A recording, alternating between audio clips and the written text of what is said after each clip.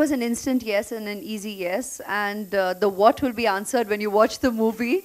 Uh, very, very obviously. I'm sure y'all can already get the feel of it uh, with the trailer.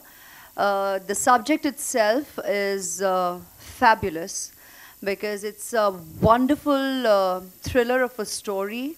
It's, it speaks about a lot of things on a lot of different levels, very, very relevant, very, very uh, important, very, very meaningful, and um, it's the absolute language of one's heart.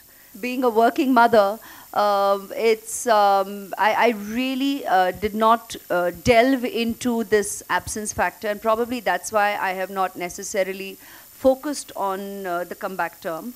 There's no going away from it. There's no running away from it, and there's uh, it will forever be the comeback film. So uh, I'm not denying it, but when I turn around and say that I, d- I haven't felt it, that's just the way it is. It is a remake. I'm not at a liberty to tell you what film it is, but it is a remake of a Korean film. I didn't think of Cobb at all. I was thinking of punchlines, and you know, it's a Sanjay Gupta film, and I had great time, uh, you know, saying those punchlines. My uh, attraction was at punchlines. You know, I wanted to deal with punchlines, and I love them sometimes. You know, and uh, in this film there are a few, and you will you will remember them when you come out of the theater. Uh, it'll make your life colorful.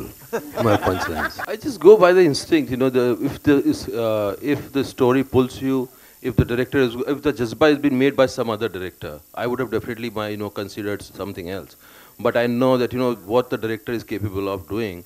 So you rely on director. You rely on your uh, you know the way uh, there's a there's a bell which rings when you hear a script or you when you hear your role and that makes you decide you know and you also look at the producer you know whether he's going to uh, put it you know present it properly or not you know all these considerations are there but first and foremost is you know uh, is the, there should be a you know ting ting in your heart when you listen to the script you know मेरा एक reason इस film को करने का ऐश्वर्या जी भी हैं बहुत बड़ा रीज़न और uh, मैं I was looking forward and uh, मेरे लिए उनको जानना उनको देखना करीब से एंड uh, उनका काम करने का एक जो तरीका है।